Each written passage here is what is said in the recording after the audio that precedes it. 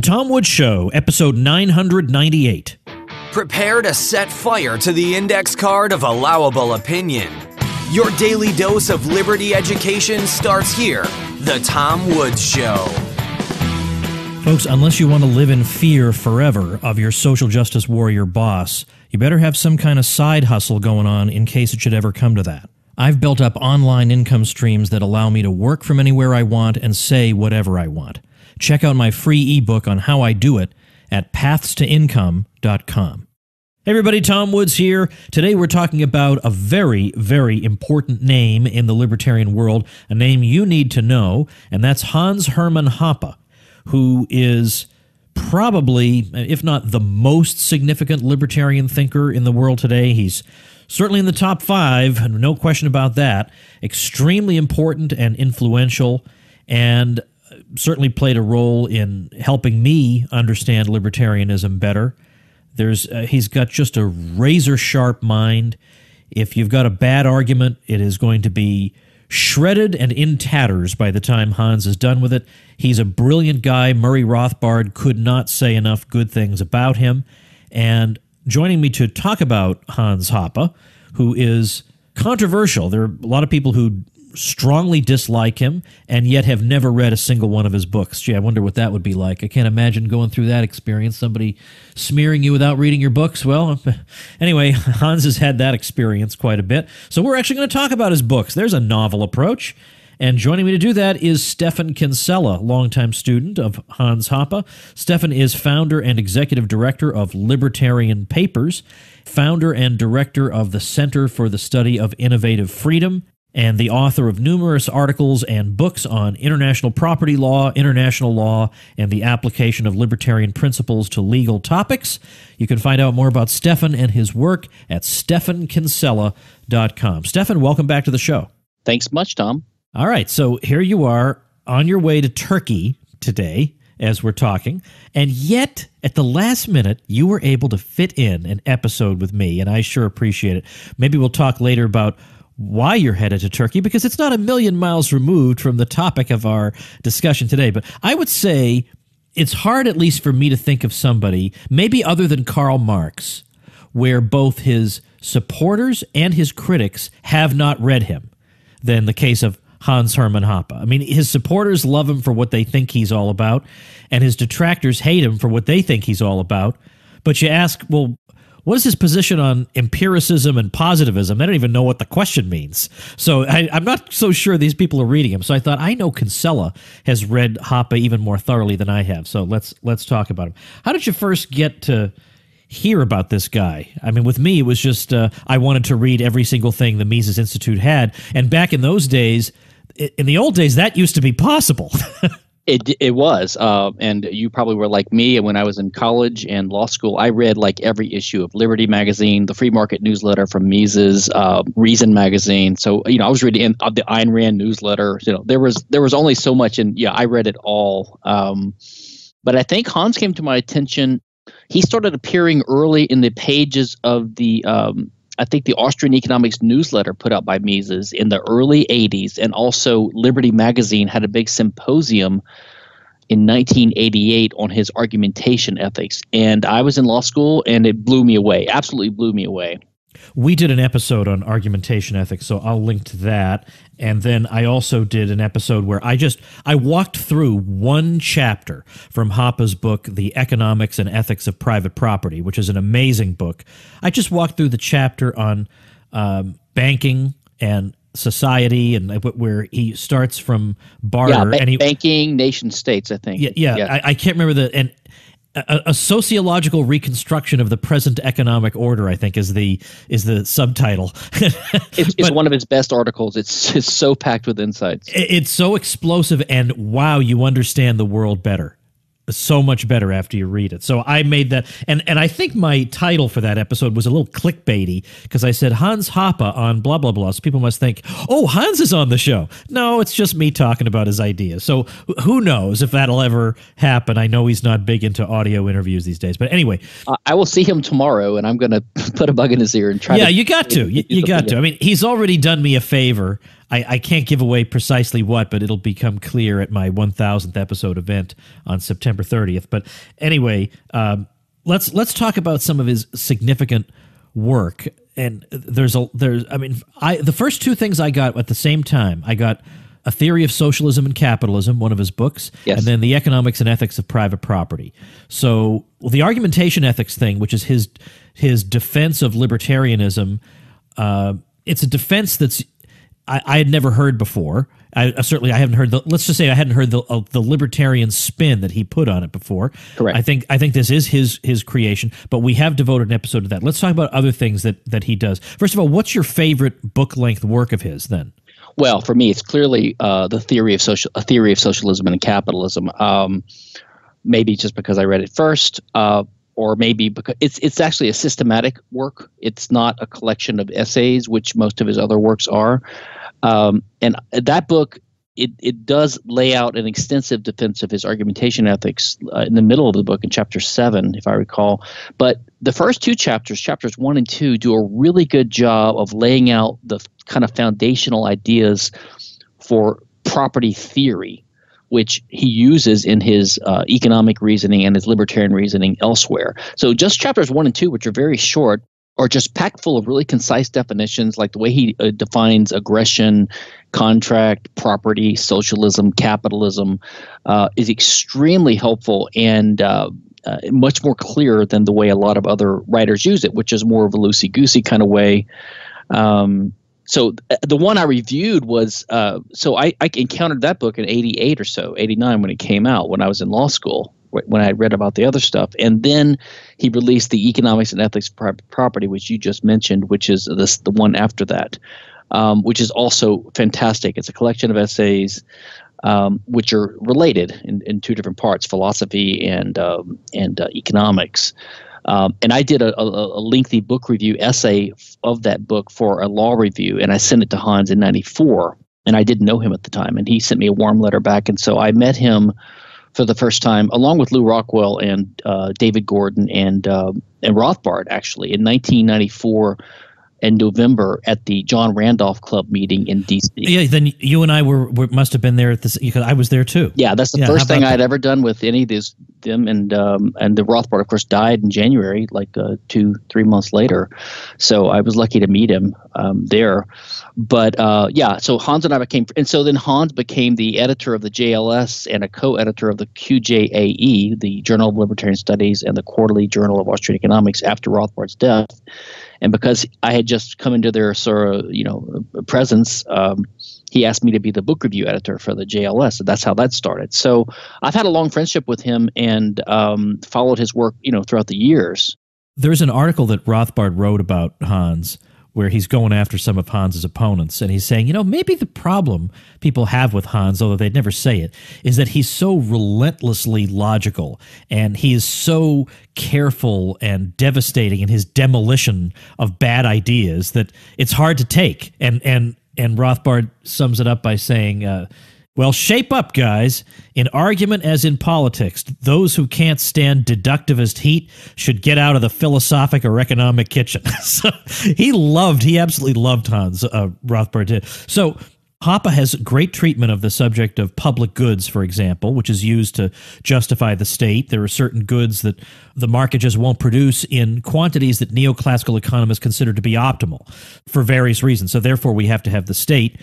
And Hans will have none of that. But, but more than just public goods, his point is uh, an extension of Rothbard's that he comes to reject the state altogether because he says the the same arguments you make about why we need certain state programs are the arguments that socialists make for why we need further state programs. So if if one group of arguments is bad, the other group of arguments must likewise be bad. There's there's no analytical reason that these particular goods are any different from those. So in other words, that's where the public goods argument ultimately winds you up. Uh, our side of the public goods thing that the, these things are th- this is this is an analytical mess. This whole public goods thing, you you can't analytically distinguish these different sorts of goods. So therefore, there's no class of goods goods that must be supplied by the state. So we don't need the state. Over and above the moral problems with the state, we just don't need it. Yeah. And and that that's pretty tough medicine for a lot of people.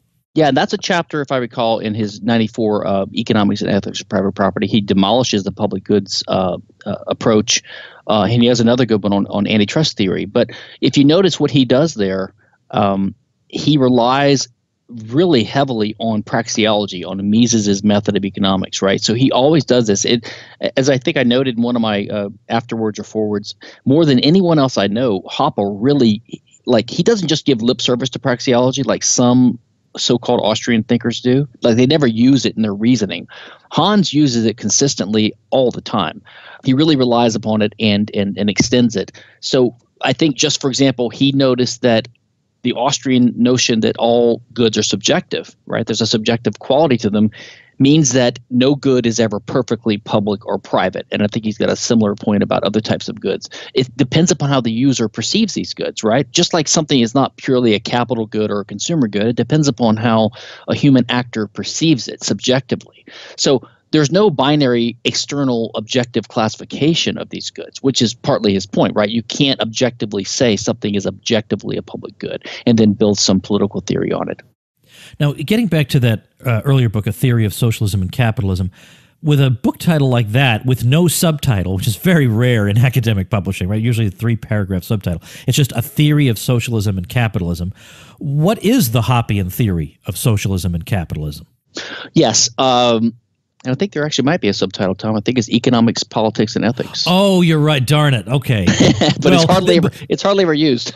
oh, okay, well, fair. But I, I, think does economics and ethics of private property have a, a subtitle?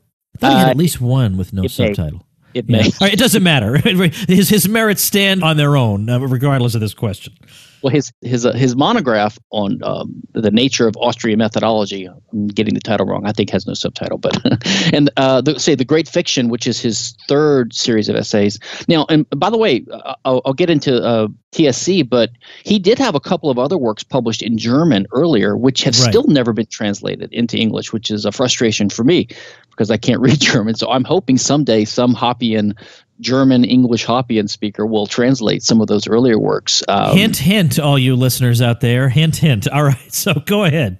But so his theory of socialism capital, first he gets to like what I call essentialist definitions. And I've heard some people criticize Hans for his definition of socialism because what he says is the essence of socialism is is really just the institutionalized aggression with private property rights. It's not simply the centralized control. But again, because again, you know, there's no hard and fast definition or objective di- difference between capital and other goods. This is an economic classification. Um, so his point is yes, we can define socialism as a centralized uh, control of the means of production, but the essence of it is any institutionalized interference with private property claims. And then he defines private property claims as those that arise from the kind of the classical libertarian uh, bases, like uh, original appropriation or homesteading, a la Locke, and then con- contractual transfer, basically. So his theory is that anytime you have a state, you have a degree of socialism. And anytime you have socialism, you have injustice and inefficiency. Um, what is really illuminating is after his first two chapters in the a theory of socialism and capitalism, where he sets out the basic categories and, and concepts he's going to use. Chapters, I think three, four, five, and maybe six. They they analyze different types of socialism. So he'll he'll uh, he criticizes socialism Russian style, which we would call communism. He's, he criticizes the socialism of conservatism. Okay, so he's anti-conservative or, or you know fascism, you could say. He criticizes the socialism of social engineering. Okay, and things like that. So he he breaks different types of socialism down into uh, different classifications, but finds common things to criticize about all of them and that's what's so interesting about this. And of course, he also has a chapter in uh, Democracy, the God That Failed, where he, he talks about libertarianism and conservatism.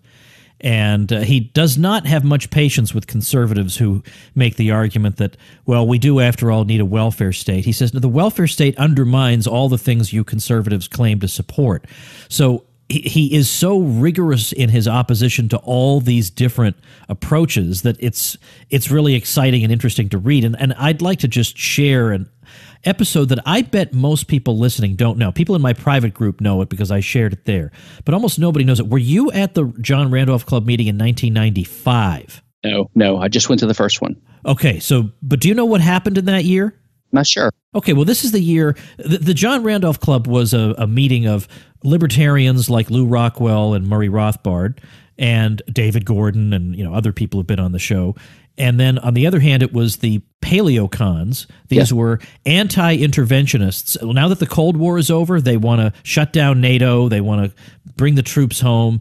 So you know why wouldn't you want to talk to them. And these days, this whole thing is being uh, people say, "Oh, they were allying with with Nazis or white national." Well, that's because today everybody's considered a Nazi. If you look at these people, Tom Fleming may be an irascible character, but he was no Nazi. Right? He's just a regular, you know, he was just a he's a non neocon conservative. Or Bill Kauffman, what mm-hmm. a wonderful guy! Mm-hmm. I, what a thrill to get to meet Bill Kauffman. There's nothing wrong with with him. Why would you not want to talk to conservatives who want to abolish, you know, or to slash the warfare state? Well, anyway, after Rothbard died, uh, Rothbard and Tom Fleming, I think, were the two personalities, one from each camp, that were really holding that thing together.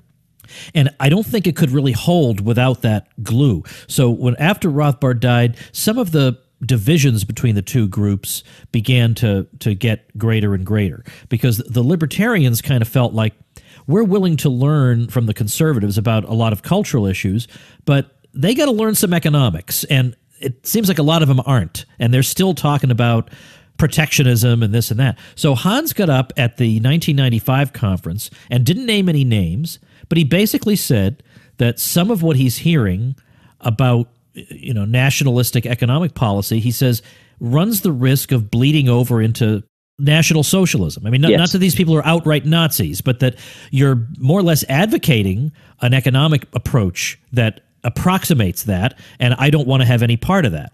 And so that wound up splitting the whole group that the yes. conservatives were so upset that hans had criticized them like that that that pr- pretty much blew the whole thing apart. Now nobody knows that and of course no one would believe that because of course these days well hoppe's a nazi by people who have never read him. They've heard three out of context sentences. They would have no idea that it was hans before they were even born who was saying there are trends here that I don't want to be part of and I have to reject wholeheartedly. That was Hans Hoppe who did that. And I thought on this episode it might be relevant to throw that in. Yes, and uh, in uh, the meeting I'm going to today is the annual meeting of the Property and Freedom Society, which Hans founded in 2006. So this is our 12th or something meeting. Um, and on the fifth annual meeting, which is about 2010 or so, Hans gave a speech, which is on VDare and also on um, it's on Vimeo. I can give you the link. It's it was called Reflections on the PFS After Five Years, and he talked in detail about um, that split with the paleo conservatives, and he and he's also got another paper on uh, like the Middle American illusions of Sam Francis or something like that, a draft paper which is good, which is online too. And he explicitly says basically, listen, it was going to be an alliance, and we were going to learn some cultural things from them, which we did, but they refused to learn their economic lessons from us.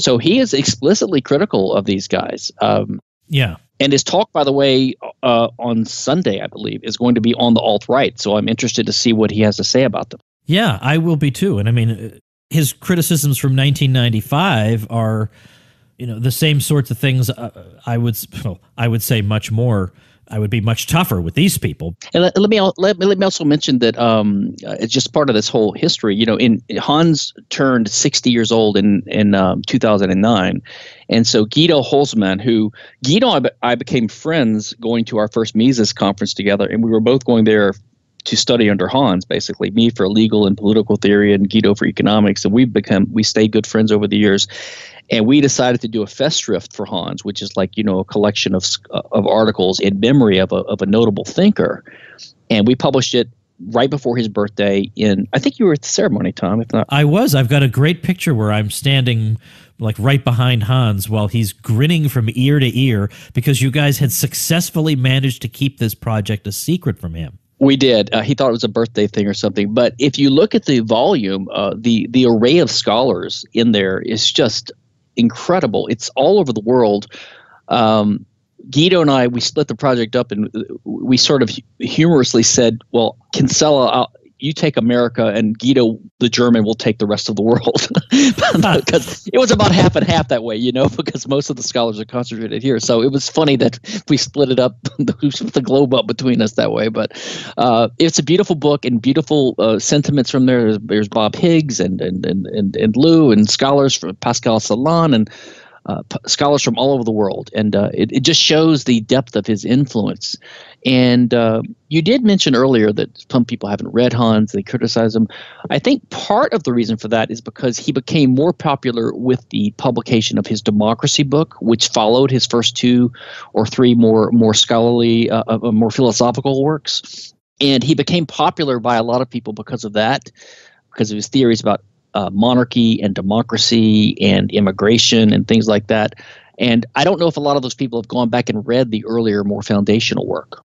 Right uh, now, even even the democracy book though is for a popular style book. It's about as scholarly a popular book as you're ever going to see. But Absolutely. you're right; it, it is on that level, and it's published by a a press. Uh, I think it was Transaction that more or less catered to the public but the, yeah, you're right. Those a theory of socialism and capitalism and the economics and ethics of private property. Beautiful thing about these books today is that they can be read for free. So. I'll actually link to the free versions that you can read online um, over at tomwoods.com slash 998. The democracy book you're going to have to buy. I'll link to that. I, I have a, I have a, I think there is a link to a, uh, a version online, but it's not exactly legit. yeah, I don't know how I want if I want to do that, but but uh, then also we were mentioning he has a short like a it's an essay in booklet form yes. called Economic Science and the Austrian Method. This yes. thing is beautiful from 1995. Absolutely beautiful. So I'll link to that. I'll link to the Festschrift. There's a lot of material people can read. So let, us let's, let's get to the, the, the key question. Where do they jump in? What's the first one? Is it theory of socialism and yeah. capitalism? Honestly, I would start with the theory of socialism and capitalism. I, I, mean, basically, chronological order is good. Read that one, and then read the uh, the the economics and ethics of private property. Okay, um, and then what I had noticed over the years was there were several of his best articles that had never been put into a book, and most of those are included now in the Great Fiction, which was published by Laissez Faire a few years later. So that's uh, like a counterpart to the economics and ethics of private property. But I would say read a theory of socialism and capitalism, and then read that short monograph of his um, on um, praxeology and the e- economic science and the Austrian method, I think is the title. Yeah. And those are all online and free. And they are just, if you're interested at all, like in Ayn Rand's sort of theory of concepts and a, her criticism of Kant's idealism, and you're interested in realism, and you're also interested in Rothbard and his Aristotelian sort of spin on Mises and Mises himself, which is a sort of a realistic Kantian take on things this book is just heaven for you because it's a blend of of all those approaches. It's not Randian, but it would be of interest to Randians. Let's take a few minutes, if we could, to talk about controversy surrounding Hans. I mean, we might as well say something about it. I mean, even though I really do just want to talk about the basics of his books so that people will know where to start. Because really, you should read the books and not listen to a podcast episode. You should read the books; they're fantastic. But he's attracted a lot of controversy. He's bec- and the thing is, a couple things here. He doesn't really respond to critics. He responded no. to critics of argumentation ethics. Yeah. But these days, if some guy calls him a racist or whatever, that is about the last thing in the world he cares about, which makes them crazy because, of course, he's supposed to come begging for forgiveness on his knees and, oh my goodness, uh, I hope you're not upset at me. He could not possibly care any less. And that, I think, more than anything else, drives people crazy because they feel like, wait a minute, wait a minute, we've set the moral standards for this society, and we're the ones who are going to decide who's forgiven and who's you know who's in good standing and who isn't, and you don't even care. what is the matter with you? So where are people getting this uh, this anger toward Hans? I mean, I assume it's not because they disagree with his public goods theory. Well, you know, it's weird to me because I he's one of the sweetest, gentlest, most sincere, honest, and intelligent absolutely I've ever met, without a doubt. Uh, and he has obviously been a hardworking advocate for liberty in, in Austrian economics for I don't know forty years now. Since how, how many foreign language translations are there of his books? You used to keep track of this. Oh, it's like it's in the it's almost approaching thirty now, I think. So it's it's there, there, have been translations all the time, um, and I have them on his website hanshoppe.com, which I help him I help maintain for him. There were a couple of statements he made that were taken out of context. Um, you know, it's to the point now where if you say you're against the uh, the uh, anti-discrimination law, then everyone says you're a racist. So it's part of it is is that kind of reaction. But I think he had said one time in his uh, he was talking about imagining a private society of the future, and he expects there to be a higher role for private morality, private communities, and even maybe something like covenants, where people that have certain they agree on certain values to to live together. And he had some comment that um, people that advocate principles that are contrary to the basic unit of society, which is the kind of conservative family unit, right? And and kind of uh, conservative values, you know, hard work, honesty, things like that. People that advocate for things like communism would be he said be physically removed, but what he meant was people wouldn't want to live near, near, near to them, right? And they would use private means to do that. And he also said something like advocates of homosexuality. And I think what he meant there was someone coming in and just vocally criticizing heterosexuality, like saying that everyone should be this way or whatever. So he was talking about advocates, and people took that to mean that he was he thought homosexuals themselves should be banned, which he's clarified in comments and, and explained many times. He of course doesn't believe that at all.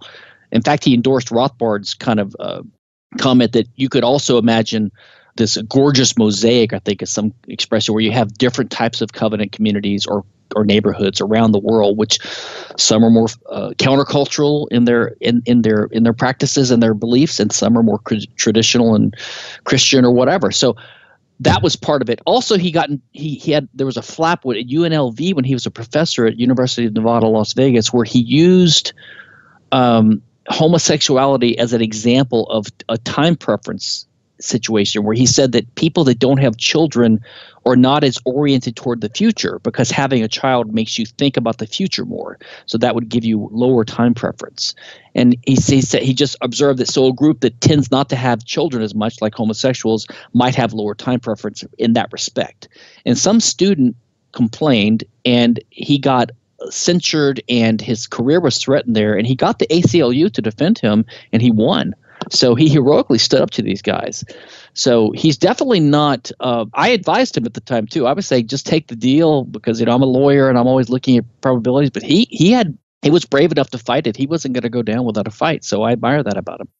I'm going to say something about this whole covenant community thing because I think there are some libertarians, some anarchist types who I think their vision for what society would look like is not very well fleshed out. Uh, they just imagine that we really would be atomized individuals just walking around doing our own thing, and that every place on earth would be exactly like every other place. Yes. You know, and th- that's their diverse world where every place looks exactly yes, like every other exactly. place. But but some people do want to live among themselves, whether it's a Christian community or whatever it is. Yes. They just want to live among themselves. Leave them alone. Yes, they know that that's the biggest sin in the world is wanting to live with people who are like you. We all get that. We all know we're going to be demonized for saying it, but sometimes that's what you want. Like during the day I go to work and I see crazy people all day and I love them. But when I go home to relax, I just want you know my neighbors to be quiet uh, you know conservative. Just I, I just want quiet. I just want peace.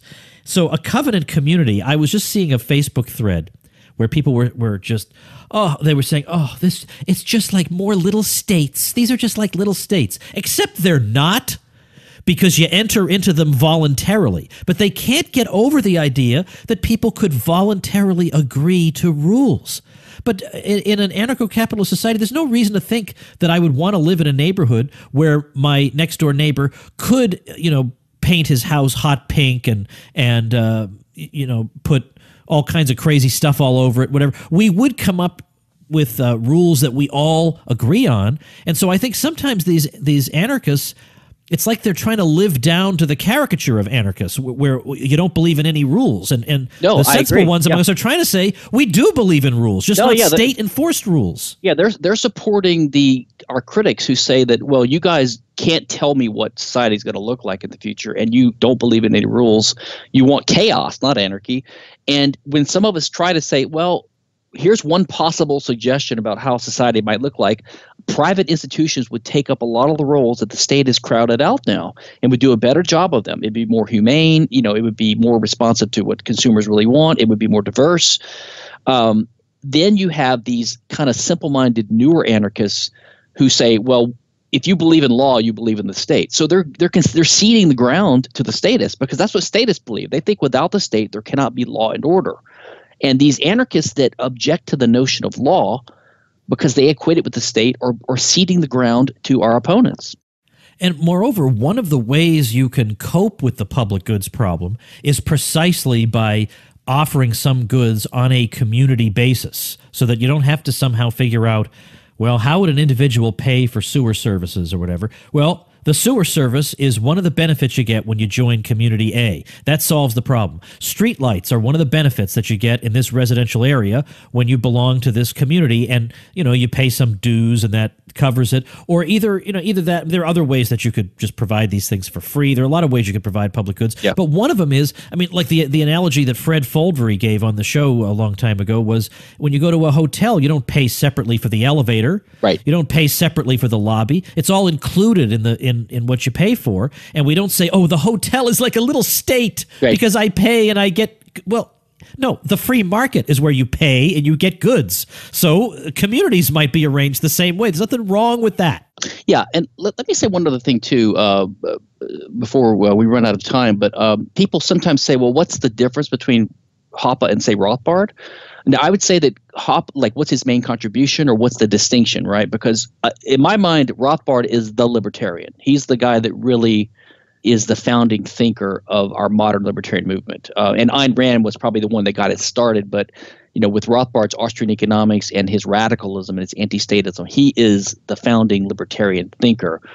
Um, Hoppe, I would say, he studied under Rothbard for ten years, and he was a deep Misesian, and a, so Rothbard and Mises are his two main influences. And there's one thing I, I, discovered years ago, which I might have pointed out to you. Um, you know, Hans was in Germany. He was initially a socialist. He was in the German educational system. He was brilliant, and he started to reject socialism on his own. And he discovered the works of Böhm-Bawerk first, and Böhm-Bawerk's criticism of Marxism. So that got him thinking, and then he started looking for free market ideas, and he came across Friedman and these guys, and initially immediately rejected Milton Friedman and that school because of their logical positivism. So he was starting to conclude on his own that economics is a priori, like Mises did. So I believe Hans was on the path to basically being a second independent Mises. And then he discovered Mises and realized, oh, this guy's got it figured out already. I'm a Misesian. I, I sometimes wonder what would have happened if he had never stumbled across Mises. We might have a brand new, independent, uh, you know, Austrian Misesian framework generated by Hans uh, from from the scratch. But so I would say he's heavily Misesian.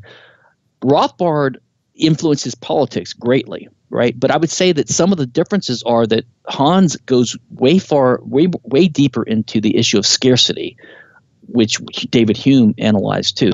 So the acknowledgement of the role of scarcity informs his his libertarian property theory more so, I think, than it did for for Rothbard.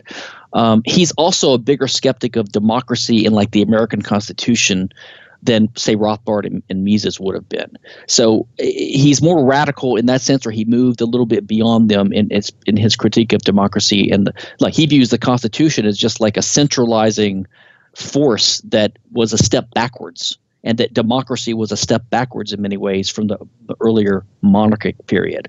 Whereas Rothbard kind of buys into this libertarian worship of the founding fathers generation, you know, and the American original system as being quasi libertarian. So those are some of the differences uh, between Rothbard and Hoppe. Let me just say a quick thing about my own personal situation re- regarding Hans. I met him a long time ago, and I um, I was kind of becoming a libertarian, but then I went through a like a paleocon phase in the 90s.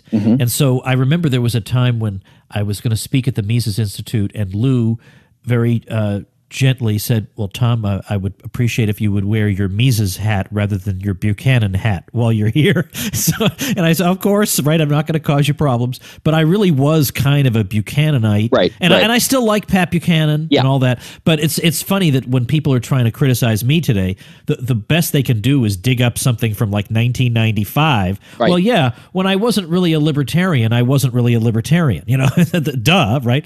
But I, I did, I was interested in it, and I, I was closer to libertarianism than most people were, but I went through that kind of a phase. And, and the thing that got me out of that phase permanently was Hans Hoppe. It was was reading. I I start. I talked to him in 2001. That was the year Democracy: The God That Failed was about to come out, and I told him about my misgivings, and he said these will all be answered in my book. And I thought, oh yeah, I'd like to see that. So then I read Democracy: The God That Failed, and I I basically decided, okay, I've been on the fence about this for a while but now I officially I'm officially in the uh, was it 2001 that book came out?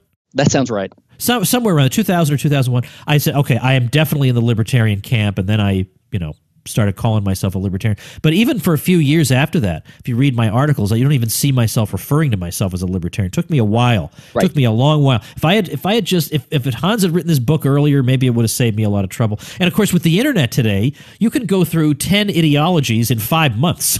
you know, but in the old days you had to read books and it took a long time. well, you know, I and I've heard. I think you've had some interviews with Buchanan on your show, and um, he is he's brilliant. He's so likable and he's yeah. so smart in some areas. Uh, I understand the appeal there, uh, and, and Hoppe likes him too. I think he's actually criticized Buchanan in that article on um, on Francis. He did criticize Buchanan for his, uh, uh I think his like. Uh, uh, his trade, his sort of trade views, you know, his his right. economic nationalism type views, but um, but no, I had a similar experience with Hans. I sent him an article one time to review it was on federalism. And he said something like yeah it's all right but because i was talking about the constitution and all this and he said but you, he goes you americans libertarians focus so much on the us constitution like it's special. And i it struck me and i started thinking i started thinking yeah he's he's got a point actually. It's not some proto-libertarian uh, mechanism for controlling or getting a good state. It's really not. It was really a centralizing coup almost yeah yeah it's it's true it's true and and i mean now I've argued. I mean, you know the the arguments mm-hmm. on, on, both sides of that. I mean, we can say, well, the nationalists tried to ram through what they wanted, but the Constitution was still sold as a yeah. decentralizing thing. But the, the the point is, there were time bombs in it. Yes, that over time could be and were in fact exploited by people who were, you know, who just wanted power. And and yeah, uh, I I used to. I've I've come a little bit in the like the Sheldon Richman direction over the years. Really? He, okay. He persuaded me that like I used to argue the Interstate Commerce Clause was never meant to grant all this great power to the feds and all this, you know, and I don't want it to. But so but the argument's a little bit uh, convenient, but you know, he persuaded me that a lot of this language is very uh, amorphous, and some of the people that wrote it did have some of these things in mind. Uh, John Hasnas has a really great article, the, the myth of the rule of law, where he talks oh, yeah, about yeah. about how so much of legislative and statutory and constitutional language it does not actually have an objective, clear answer. It, it is subject to the whims of the people that have that are left to interpret it. Yeah, and so no matter how good your intentions are when you're drafting a constitution, let's say, although this isn't his main argument, but you're going to run afoul of this problem that you can't. Well, anyway, I, in fact, I did a whole episode with him on this. This myth of the rule of law was one of these articles that I read. Yes, it's that a classic. I, I told him uh, on the show that I indignantly rejected it when I first read it. Yeah. And that eventually I basically, you know, I found myself shaking my fist at the sky and saying, Hasnas, you were right. you know, eventually. And, and, those are the best articles of all, the ones that yes. eat away at you until you finally just have to surrender. So I'm well, going to link to that one. You know, another really good one like that is uh, Cuzán's article in the JLS. From He's not a libertarian. It was, uh, it's called. Um, um, do we ever get out of anarchy? do we ever one? get out of anarchy? Yes. uh, and he wrote a he revisited later, which wasn't as good. And I think he's he submitted another article to my paper, the my journal, the Journal of Libert- I mean the Libertarian Papers Journal. And so, but um, but you know Hans actually in his democracy book, this is kind of what he talks about. The logic of democracy is that it has to lead to more centralized state power. It doesn't matter what a paper constitution says. They're going to, because of the nature of the state, they're going to use whatever means they can. And that long article you mentioned earlier, Banking in Nation States, he traces the the kind of actual steps the state takes to seize control. You know, it takes control of education, it takes control of the roads, transportation, it takes control of communication, and finally takes control of banking and money. So it has its tendrils in all these areas of society so it can basically buy support and make everyone dependent upon it and control them it's it's really insidious and and uh, the, the thing is, this is the nature of the state. Even if you have a paper constitution, even if you have democracy, or maybe even especially if you have democracy. In a way, it's kind of like you should ask yourself suppose you were because some people might say, oh, that's an unnecessarily cynical view of the state. All right. Well, suppose you were about to think of a way to dominate people and keep them dependent on you and, and, and be able to lord it over them, what sectors of society would you want to control? And it'd be exactly the same ones that the state does. Now, either that's an amazing coincidence or this they're doing this on purpose. Yep. Transportation, security, law, communication, education of the kids. I mean, Yeah. So do you see why you read Hans Hoppe and your brain explodes and you think, okay, uh, let me put all this goo back in my head because I got to read some more Hans and learn learn about how the world works. It's thrilling and exciting stuff, which is why it's such a shame that well, first of all that even some of his own supporters haven't really read him, but secondly that people of frankly bad will are driving people unnecessarily away from maybe the greatest uh, living libertarian theorist we've got and that that ain't right. And hence tom woods show episode number 998 so uh, what are your final thoughts on this steph? Well uh, you just reminded me of a i think it's Lew Rockwell's chapter in the festschrift to hans that he had some anecdote about how hans gave a speech and he was just criticizing the expansion of the state and the U.S. Constitution in front of an audience of people that are somewhat friendly towards the Constitution. He said the audience was so silent you could hear a pin drop. I mean, so the power of his ideas it makes people think. Um, he it doesn't matter what his unfair critics say uh, because his work is all online. You can read it and you can see what he says yourself. And when you listen to his speeches, um, uh, and I will mention one other thing. I did a six lecture course on Hans in 2011 called The Social Theory of Hoppe. It's on. It was on Mises Academy, and it's all online on my site. Um, so anyone who wants to go study more about Hans can read his works, uh, which are all online and free, or they can listen to my um, 2011 video presentation about his theories. It's as I say, it really is. I know it almost sounds fanboyish, but to say, but his work really is exciting, intellectually exciting. There's nothing dull. It's like reading Rothbard. Nothing dull about reading Rothbard. Nothing dull about reading Hans Hoppe. So a lot of great resources. Yeah, he, he electrified me when I came across him, and I still think his first book is my favorite book I've ever read. Uh, so, and I, you know, I have my own things I've written, but I'm not too proud to say that I'm I'm kind of like Hans's fanboy or amanuensis, some people say, you know, someone who spreads the ideas of someone else. But, uh, you know, because of his ideas. And um, I think they're well worth reading for any libertarian. So I'm going to have a bunch of them linked at tomwoods.com slash 998. So I urge people to check those out. And Stephan, uh, safe travels as you head over to visit with Hans. And, and just let him know that there is a huge community of listeners out here that would pretty much crawl over broken glass if that would somehow help to get Hans onto my show. So just casually mention that and uh, safe travels and thanks a lot. Good luck with 1000. Thank you. All right, that's going to do it for today. Definitely want to check out tomwoods.com slash 998. And don't forget to join me for the 1000th episode event, which we've postponed to September 30th. 1000th episode of the show.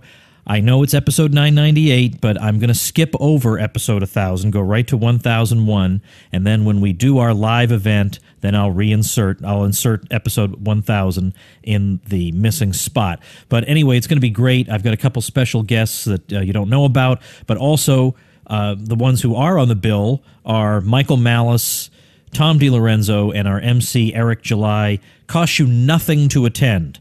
So definitely make sure and be there and help me spread the word. TomWoods.com slash Orlando, and I'll see you tomorrow. Become a smarter libertarian in just 30 minutes a day. Visit TomWoods.com to subscribe to the show for free, and we'll see you next time.